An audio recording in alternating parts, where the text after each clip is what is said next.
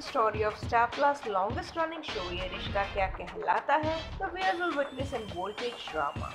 Seen Naira shocked seeing Shubham's death and the truth unfolds.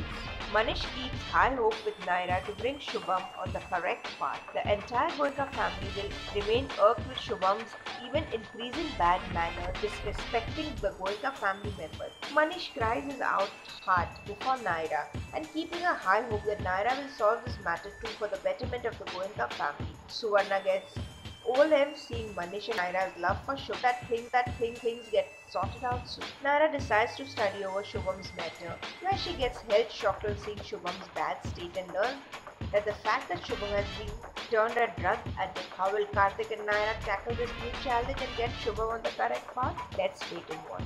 So what do you feel about this? Keep watching our channel TV Prime for more such exciting updates and upcoming twists.